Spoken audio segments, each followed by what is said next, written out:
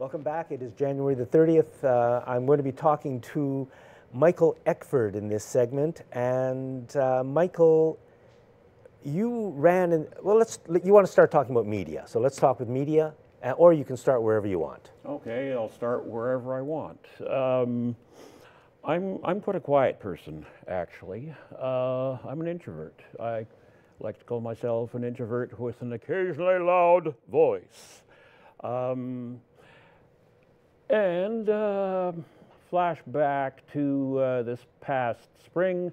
I'm living in my apartment uh, at uh, Quadra and North Park, and it's noisier than heck.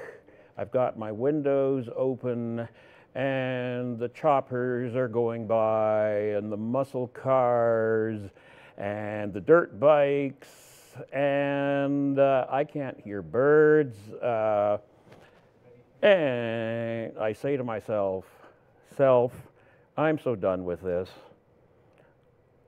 Let's start the quiet party. We need quieter discourse in our art, in our culture, uh, like the guest you just had on, uh, at least as we are taping this, uh, I think we're very much on the same wavelength. And when I heard the name The Quiet Party, yes, I was attracted to it right away because I think, uh, you know, they say silence is golden, and it is. I think human beings need peace and quiet within which to live. Everything interdepends, Jack, because every word interdepends on every other word. That is to say, everything depends on context. Now, I think I'll break up this uh, kind of quiet, solemn atmosphere with a little, a little joke which we can edit out if it doesn't work. So my latest, I've, I've, I've started writing jokes in the last few years. Oh, for those of you who, who know me uh, wearing my other hat as an opera singer, uh, yeah, I've sung with Pacific Opera Victoria, Vancouver Opera, Edmonton Opera, Calgary Opera, and I am the greatest opera singer in the history of vaudeville, having done 24 seasons with the Frantic Follies in Whitehorse. Shameless plug. But what I've learned is one has to learn to blow one's own trumpet, and I am a trumpet player, so and I learned as a trumpet player, if you're going to make a mistake, like say when I came in to, uh, to film this uh, thing, uh, your person out front said, so, are you going to sing for us? And I made an ass of myself and said, no, I will not. And then, and then all heaven broke loose. And it seems I'm on a roll. But, but seriously, folks, let's bring it down a bit. And uh, so, Jack, how do you like me so far, as we say in show business? I like that answer. You're great. I like that answer. You'll be great. You'll be swell.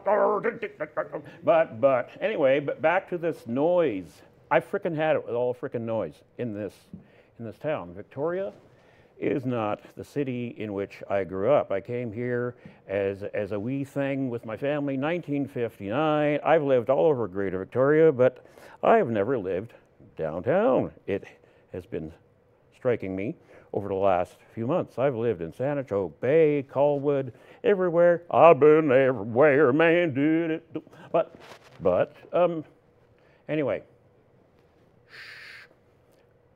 We need quieter discourse. Noise is toxic.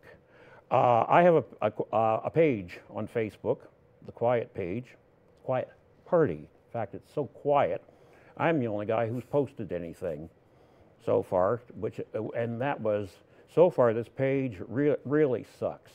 But I do have a platform, and it's like, uh, it's, you know what it is? It's like, it's like this old joke about the old man with, with a high sex drive, and he goes to his doctor and says, hey, doc, I got a high sex drive. Can you do something about it? And uh, doc says, what? And, uh, yeah, yeah, doc, right now. It's all, it's all in my head. I'd like you to do, I'd like you to lower it if, if you can. So, so everything I know about quiet and silence is, is written in my head. And my initials also are the same as Mother Earth. And because this is a show about Mother Earth, right? About progressive politics, and I am actually going back to 1994. I, I, I started a party then, 1994, because I was watching the news or something, and I'll have to edit this uh, as I go. You know, I'm sick and tired of, of all this BS. And you and I know what BS means, but we can't say the, the thing right on, we on community family You can make the television. Oh, oh, can I say it then? No, but make the point. Oh, okay. you know, so BS, I'm, I'm tired of all the BS BS. Yeah. that's going on.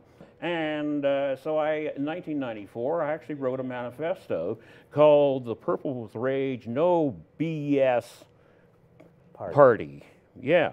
And then that's kind of evolved over the years. And uh, hey, do we know about voluntary evolution? That we can volunteer to, to evolve at whatever rate we want. Some of us evolve more quickly than others, and then we devolve. And being a, a singer and a joke writer and a vaudevillian, I've learned to parse words. Yeah, I'm, I, I like to call myself a professional performer and an amateur scientist. Um, and now I think I'll plug religion because I think two taboos in our in our culture are politics and religion. And because I live in a really Christian dominated community, I'm getting tired of this. And so I brought along uh, my, my resume. And on here is, uh, on this lapel, is a flaming chalice, which is all about uh, Unitari- Unitarian Universalism. Um, and it's about the universe, uh, well, actually, if you really want to get back to the historical context, uh, it's about uh, Unitarians were once like Christians, but then they broke away in the Council of Nicaea, 300 uh, AD, and the modern cut to the present day. Uh, we we don't do this. You gotta you gotta do what, whatever to be saved. We we we're already saved. We're universally saved, and. Um, Hmm. So Jack, you, you do the sound as well as uh, you're like the, the, the boom guy because you move you move that because you see being a trained actor and singer and observer, I I've kind of learned to propriocept, which is a concept in Bohm dialogue that I mentioned uh, we talked about briefly the first time I was here, which is sort of simultaneously uh, listening. yes, We wait two for it. Two minutes left. Two minutes. So I got to do. I got to do some music. minutes. Okay. Yes. All right. I thought I had three minutes. Well, Oh. I missed the cue. Oh, what cue? You mean that person doing that? Because I saw Minute that. and a half. Oh, minute and a half. Okay, so, you know, even opera singers get the blues, and I'm a busker, and this is one of my big hits with, Okay. with busking, and here we go. There is a in God.